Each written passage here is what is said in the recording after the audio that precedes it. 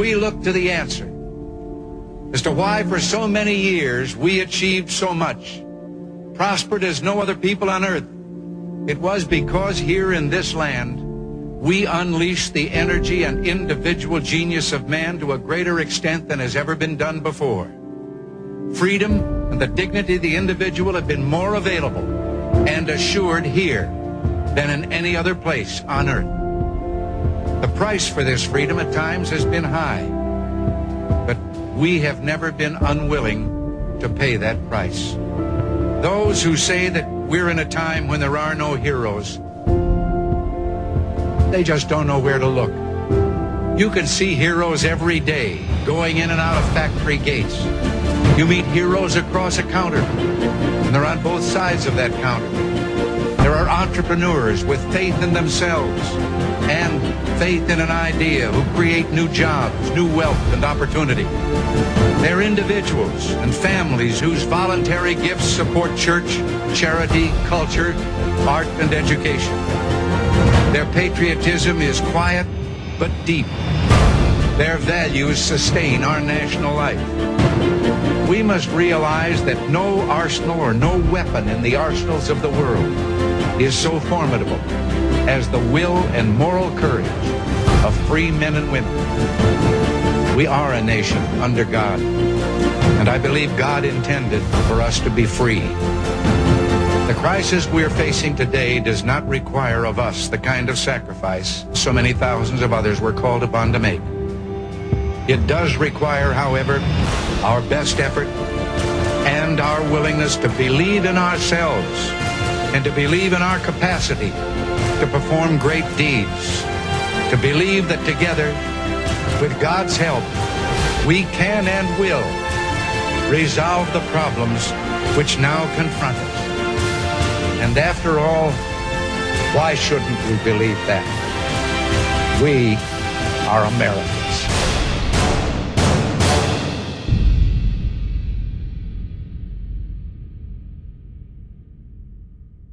Good morning. Can you believe it is Memorial Day weekend already? God bless you on this holiday weekend, like we're all going to take off work, huh? Hey, let's open up in a word of prayer. Father, we thank you for this day that we have that we can worship you.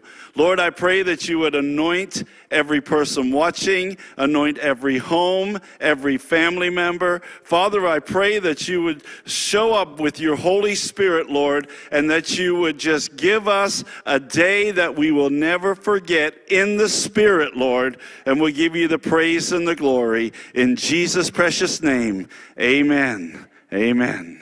You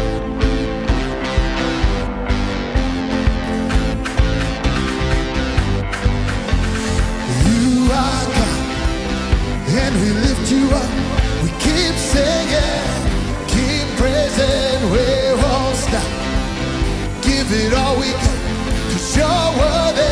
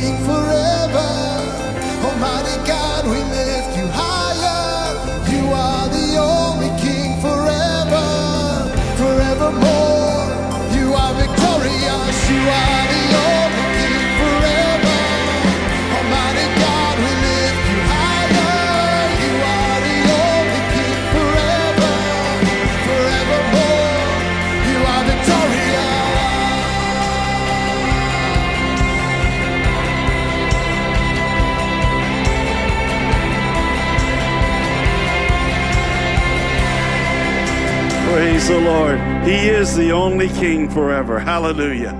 Hallelujah. I want to remind you about your tithe and your offering this morning. I want to thank you for being so faithful in your giving uh, through this whole time. Um, we are praying that uh, those of you who are laid off, who aren't working, that you would be reinstated, get your job, get back to your jobs as soon as possible. Um, I also want to remind you that Cindy is going to start another devotional. It's going to start tomorrow at 10:25 in the morning, and it's going to go every day uh, during the week. Hey, we have a special announcement this morning from Mr. Mike. Good morning. You know, Chaz and I are glad that we can bring church online to you during this time. But next week, Sunday, May 31st, we want to do something really special with your children. We want to have a meeting. We're going to use Zoom. And if you want to join, please contact us. And that's for the children's security. You can contact us via social media, text message, email, um, and we'll send you the information for that meeting. So we love, we really miss your kids, and we really want to see them again. So please join us for this meeting next Sunday. But for this Sunday, please enjoy Children's Church.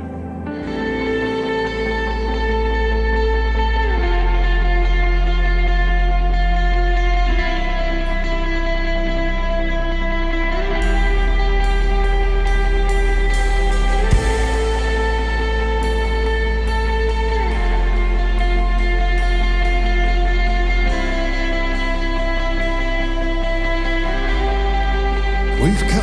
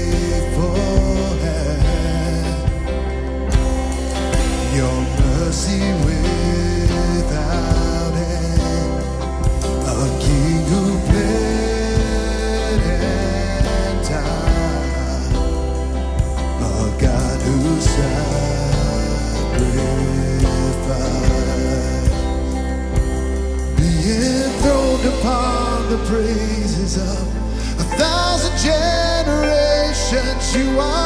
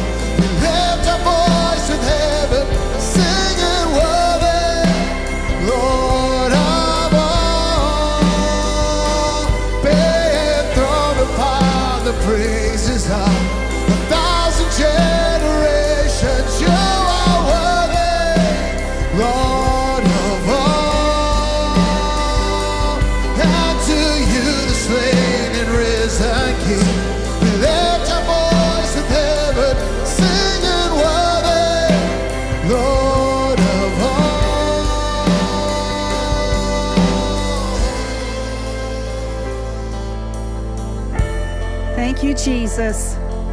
Hallelujah. Hallelujah. Do you know that God inhabits the praises of his people? When you find yourself going throughout the day and you think, God, where are you? What is going on here? I just can't seem to get it together.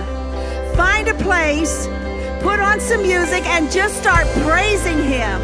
As you begin to worship him, you will feel his presence just fill the room, fill your heart. He will be right there because he dwells amongst the praises of his people. I pray, Father God, for every household who is watching today. I ask you, Father, as they go throughout their day, Lord, as they're homeschooling their children, as they're working their jobs from home, Lord, that at moments that they will take and set aside some things to come into your presence, Lord, they will feel your presence upon them. That your peace would come and settle in their home. Father God, that they will know that the God of the universe loves them, that He has not forgotten them, and Lord, that your presence, in your presence, things happen. In your presence, there is fullness of joy. In your presence, there is peace, and there is healing, and there is deliverance. Oh, Father, we worship you today. We worship you and we invite you into our homes, into our lives, and we give you praise and glory because you alone deserve it, Lord. We praise you today, Jesus, for it's in your precious name we pray. Amen. Praise him this morning.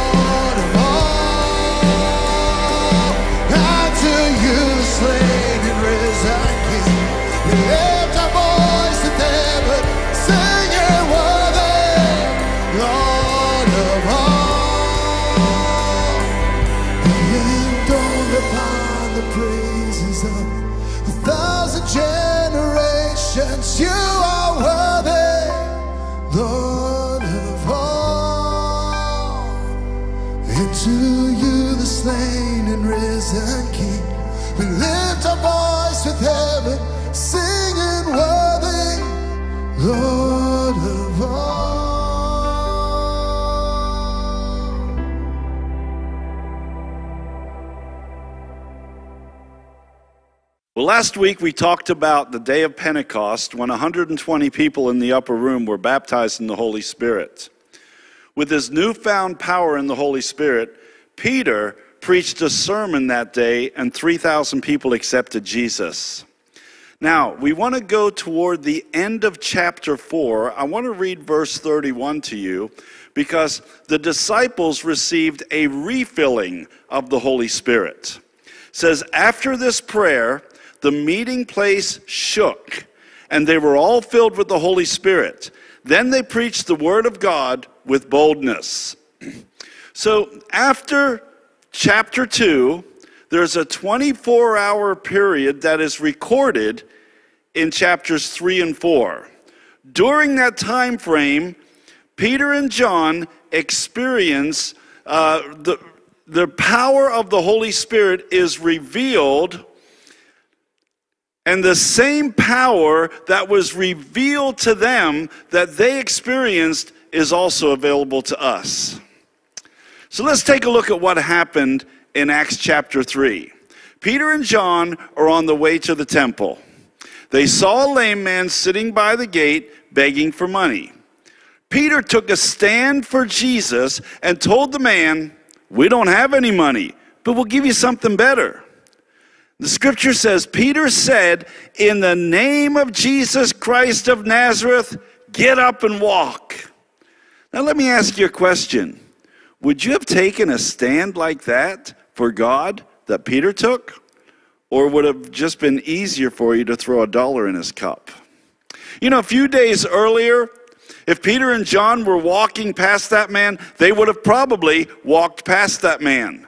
But now they were filled with the Holy Spirit, and the power of the Spirit of God in the power, they took a stand. Of course, one thing led to another, with Peter being on a spiritual high. He took another bold stand, preached another message. Since the Spirit's outpouring and the Holy Spirit, he preached two messages. Twice that day, they voluntarily took a bold stand for the Lord. Man, they must have been feeling pretty good about themselves. Then we get to chapter 4. They're faced with opposition. While Peter and John were speaking, verse 1 says in chapter 4, were speaking uh, to the people, they were confronted by the priest, the captain of the temple guard, and some of the Sadducees. These leaders were very disturbed that Peter and John were teaching the people that through Jesus there was a resurrection of the dead.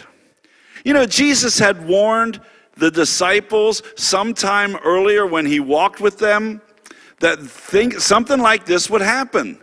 He told the disciples in Matthew 24, You will be arrested, persecuted, and killed.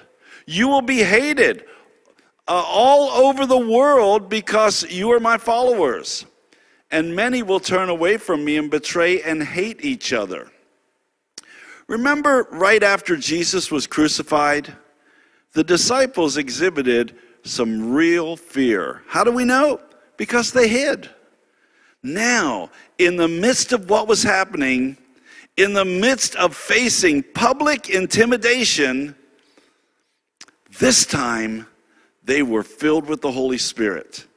So today I'd like us to take a look at what we can learn from the actions of Peter and John in this portion of Scripture. First of all, Jesus is our foundation. He's our foundation through the easy times and through the trying times. Verse 3 says, They arrested them, and since it was already evening, they put them in jail until morning. So the, lame, the lame man was healed about 3 o'clock in the afternoon. That's when the miracle take, took place. This was probably about sundown, about 6 o'clock in the evening. So Peter and John continued to talk to the crowd for about three hours. Undoubtedly, they explained the gospel of Jesus and probably had time to answer questions from the crowd. The religious leaders showed up and they were not happy. So let me tell you what was going on here. The Sadducees believed there was no resurrection. Nobody resurrected. Not Jesus, not anybody will resurrect. They denied the existence of angels and spirits. They were not excited about this miracle. But you know what they were really disturbed about? That Peter and John had such a great crowd that was listening to what they had to say. In fact, verse 4 tells us, but many of the people who heard their message believed it. So the number of men who believed now totaled about 5,000. Can you imagine what the number actually might have been? I mean, we're talking about all these guys' wives and maybe their children. It's probably a lot more than 5,000.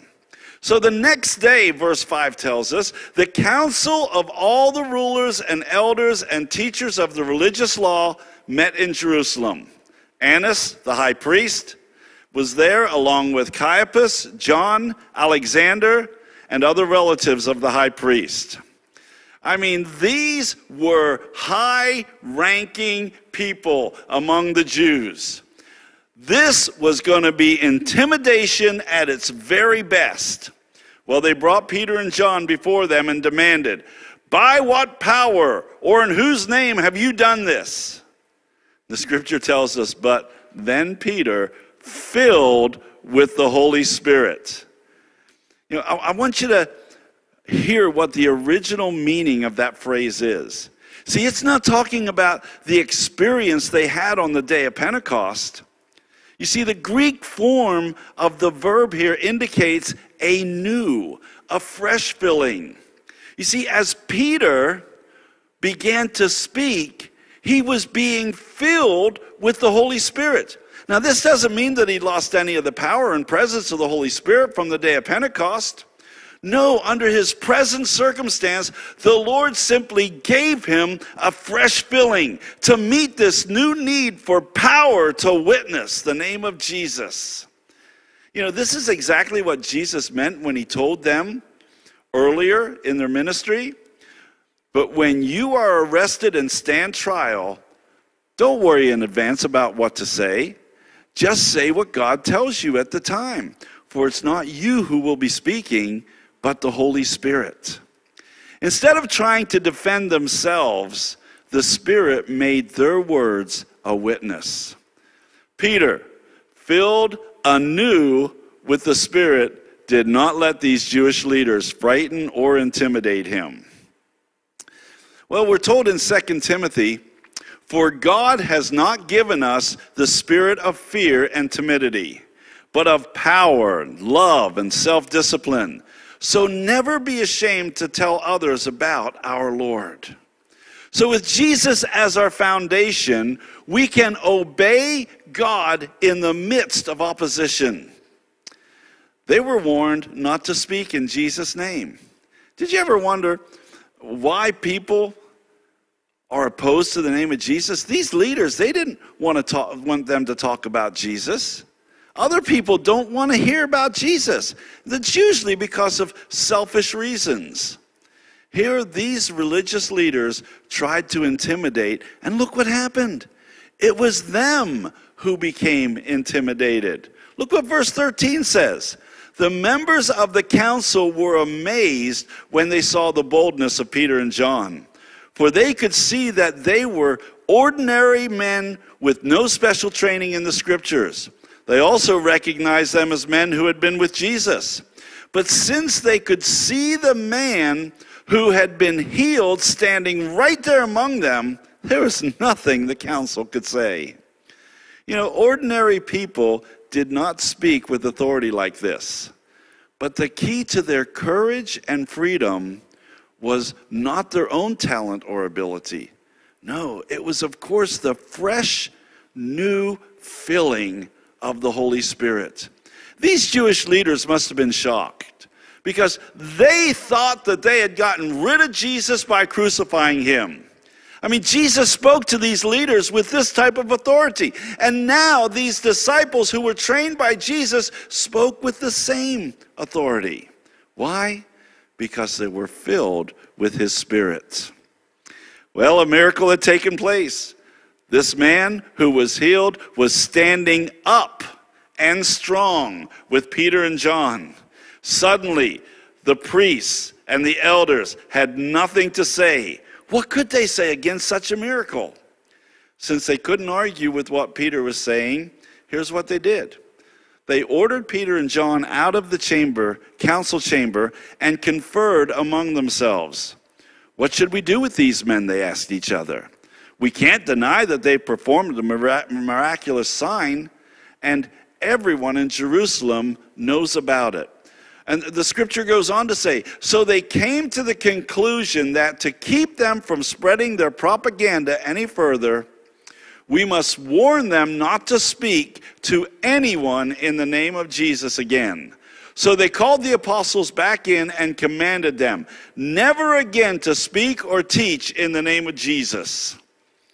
They tried to use their authority to stop the spread of the gospel. But these disciples knew that the Spirit who was in them was greater than they who were of the world. In the face of opposition, we've got to stand firm on our faith. In the book of Jude, it says that we must defend the faith. Jude 1 3 says, Dear friends, I have been eagerly planning to write to you about salvation, the salvation we share. But now I find that I must write about something else, urging you to defend the faith that God has entrusted once for all time to his holy people. It's not popular today to stand for biblical principles. It's not popular today to say that Jesus is the only way. It's certainly not possible to call sin what it is sin. People don't want to accept the, what the Bible teaches.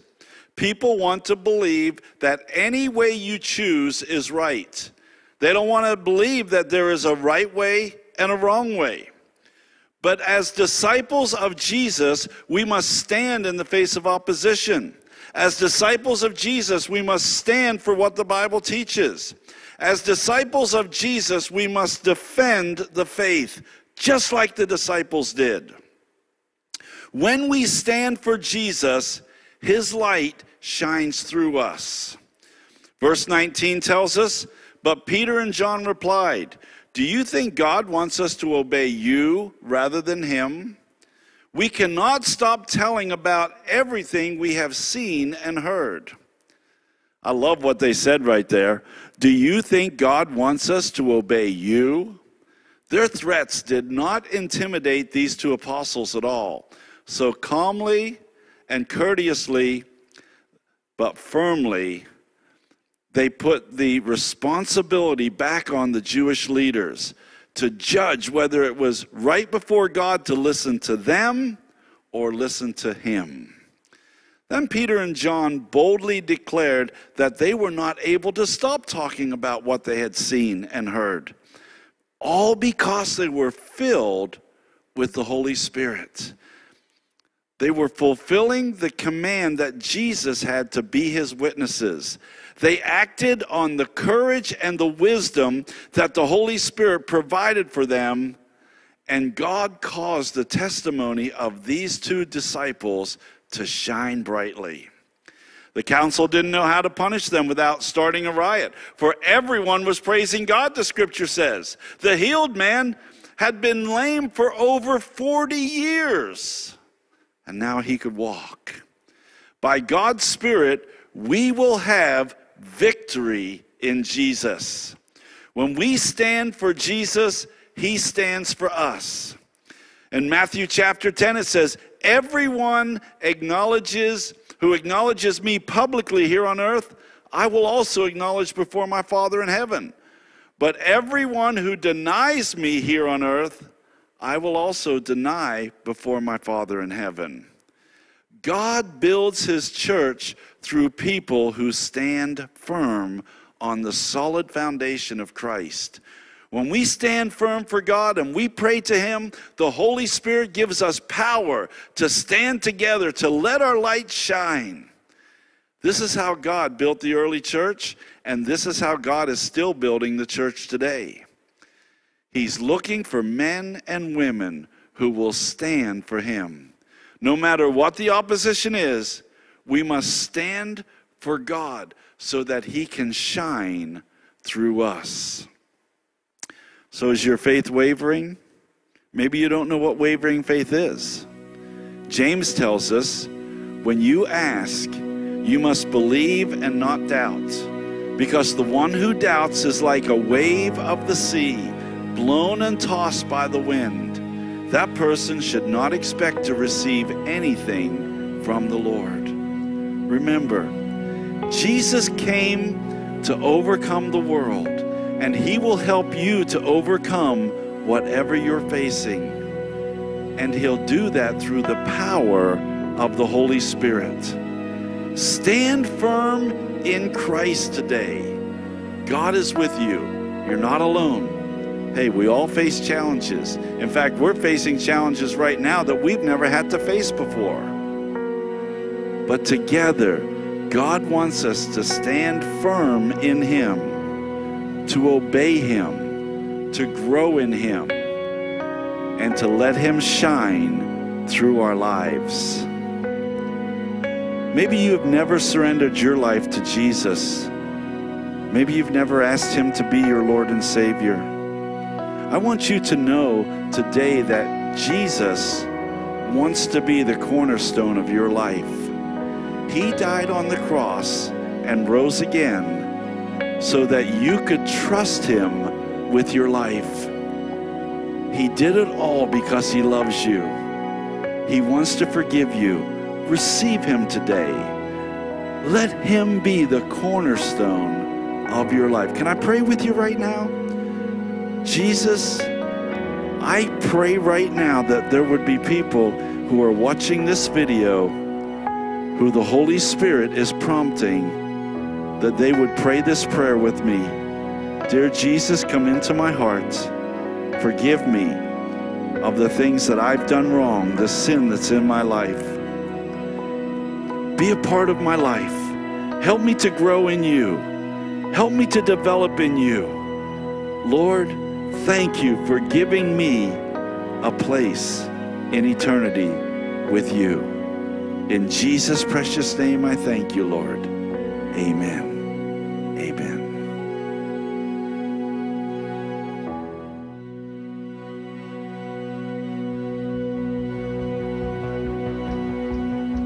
You were the Word at the beginning, one with God, Most High. Your hidden glory in creation, now revealed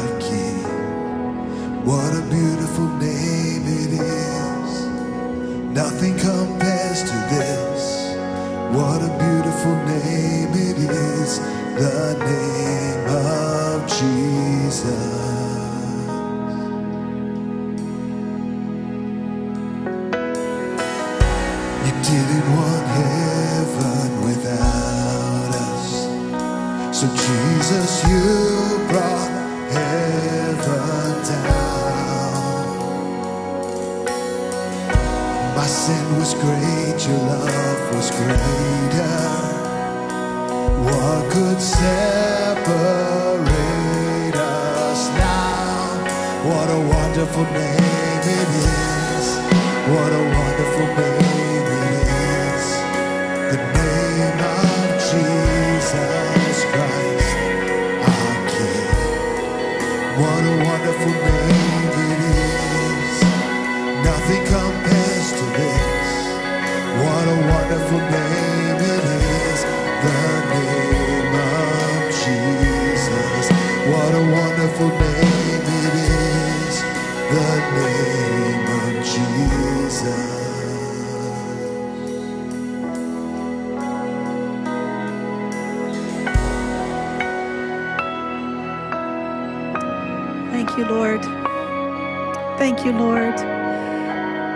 Pastor preached on the power that comes from the Holy Spirit that God has sent for us that we can live in these last days for Him with boldness.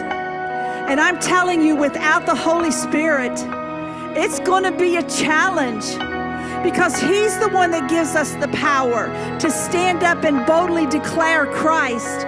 Paul says, We're not of those who shrink back in times of trouble, but we rise up and we stand firm on God's word. And to be able to do that, we have to know God's word. I want to encourage you this week Get into the Word of God.